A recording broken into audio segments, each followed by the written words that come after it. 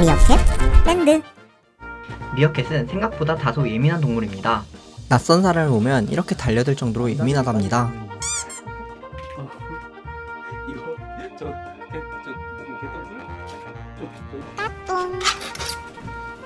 그런데 또 카메라맨은 안 물어요. 도대체 기준이 뭘까요? 그리고 미어캣이 주인을 무는 버릇 어떻게 훈육을 해야 할까요? 미어캣 랜드 저희 집 미어캣에게 물리는 사람들을 살펴보면 공통점이 있습니다. 우선 저랑 너무나 달라요.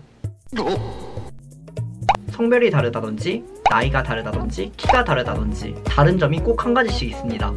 미어캣이 저랑 키가 비슷하고 같은 나이 또래의 남자들은 안 문다는 걸 알았어요. 근데 목소리 톤이 저보다 좀 더 높거나 크신 분들이 있으면은 미어캣들이 좀 예민해지더라고요. 큰 TV 소리에도 좀 많이 예민해집니다.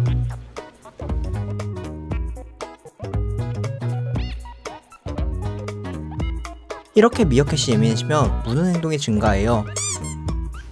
심지어 이렇게 집에 왔을 때 미어캣이 주인 발까지 물려고 한답니다.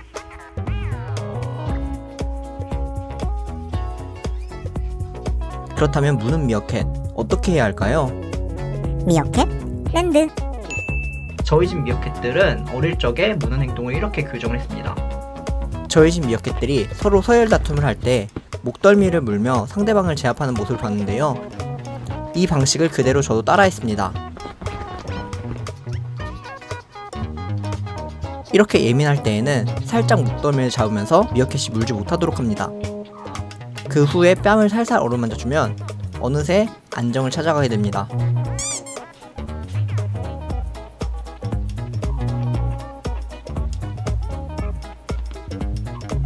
미어캣 키우는 분들에게 도움이 됐을지 모르겠는데 미어캣은 암컷이 수컷보다 예민하고 싸나워요.